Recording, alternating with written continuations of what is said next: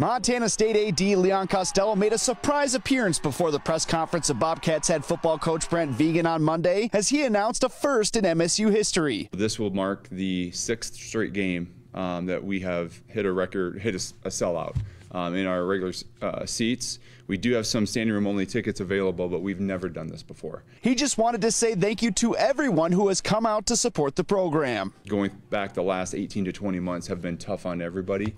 Um, but our fans are simply the best, and they keep showing it time and time and time again. The sellout crowds have given the Bobcats football team a boost, says Vigen. To quantify it in a home game, what that means for us, and ultimately the obstacle it creates for our opponents. Um, it's hard to quantify. Costello wants fans to know they need to get to Bobcat Stadium a little earlier than normal this Saturday ahead of their game against Idaho. About 30 minutes before the game, so we can honor the seniors that we have. We have a we have plans for a lot more football games in Bobcat Stadium here this year, but we also want to uh, say thank you to our seniors in the right way. In other big news, the Bobcats earned Big Sky honors for their play against Eastern Washington. Senior linebacker Troy Andersen was named Defensive Player of the Week with his 15 tackle performance. It's evident he's one of the best players in our conference, and he's continued to to show up every Saturday with those type of performances. So whether this is the first time he deserved it or not, I don't know, but he got it, and it's uh, it's well deserved. And without his play, his leadership,